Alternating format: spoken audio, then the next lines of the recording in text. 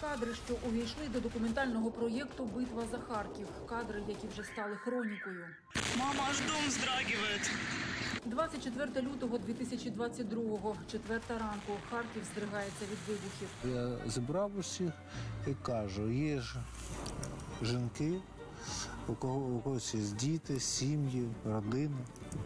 Е, я сказав, я вам даю дві години. Дві години, щоб ви е, для себе прийняли рішення. Хто залишається, тот залишається зі мною в місті. За півтори години російські танки підійшли впритул до кільцевої дороги. Військові намагаються стримувати ворожі колони. Вони намагалися ну, залізти з чотирьох сторін, з всіх доріг. Якщо б противник розумів, наскільки ми слабкі, настільки нас мало, е, настільки у нас мало техніки особового складу, е, він би пішов далі. Перші авіанальоти і перші збиті російські літаки. Та все ж 27 лютого ворожі групи вже були на околицях Харкова. В селі люди були по 15-20 осіб. Тобто це, це ті, які чекали, мовно кажучи, команди росіян. Дуже підготовлені ДРГ були, дуже підготовлені. І в них були е, склади е, БК. Харків жив під постійними обстрілами. Полиці магазинів спорожніли. Десятки тисяч харків'ян жили в метро. Зелених коридорів, які відверто у нас не спрацював по області жоден. Одразу там гуманітарний конвой або евакуаційний конвой, коли ми направляли за попереднім, нібито погодженням із окупантом, їх на першому ж блокпості або затримували, або просто розстрілювали. У травні 2022-го перший контрнаступ. Ворога вдалося трохи відсунути від Харкова, а вже незабаром відкинути аж до кордону. Тоді стало зрозуміло, окупантів можна бити і гнати геть. Почалася підготовка до великого контрнаступу. В будь-якої фортеці є свої слабкі місця.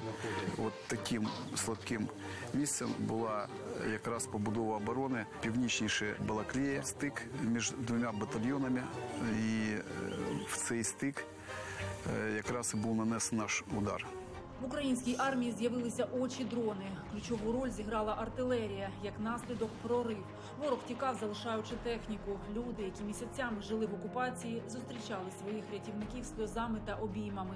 Це найяскравіші спогади тих днів. Діляться українські бійці, герої документального проєкту Битва за Харків. Ми знаходимося у нашому рідному селищі Казача Лопань. Ось як місцеві мешканці зустрічають наших захисників. у Шевченкові. Ми через Шевченково їхали, і нам людина навіть точно цю кількість днів сказала, скільки вона нас чекала. За два етапи операції Збройні сили України звільнили понад 10 тисяч квадратних метрів території. Згадує нині голова Харківської обласної військової адміністрації. З'явилося як ніколи раніше тверде відчуття. В цій війні ми переможемо. За добу фактично могло бути звільнено 5 населених пунктів, 15 населених пунктів, 18, 20, 50 населених пунктів. І дійсно ми так стрімко е, рухалися за нашими військовими, що фактично подекуди і не встигали, да, тому що потрібно налагодити е, відповідно і побут, потрібно одразу призначити людину, яка буде відповідальна від влади. А заходити після військових ми мали одразу, тому що там дійсно страшні жахіття були. і Ми одразу маємо запитати у людей, яка необхідна перш за все, тобто допомога або підтримка, можливо, евакуація, можливо, поранені, можливо, злочення, можливо, хтось там під завалами, в тому числі перебуває. На деокупованих територіях і досі є села, які треба розміновувати, де немає світла, каже Олег Синігубов. Більше ніж півтора відсотка Харківської області й досі в окупації. А ворог і зараз не відмовляється від намірів захопити всю Харківщину. Для них пріоритетом залишається і місто Харків, і Харківська область. І е, це вони демонструють постійними обстрілами населених пунктів, які знаходяться на прикордоні на півночі. Це Богодухівський район, це Харківський район.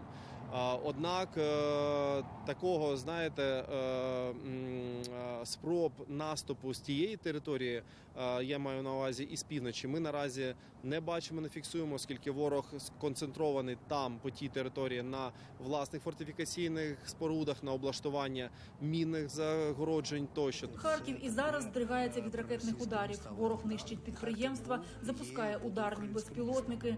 Та місто залізобетон стоїть. Битва за Харків триває.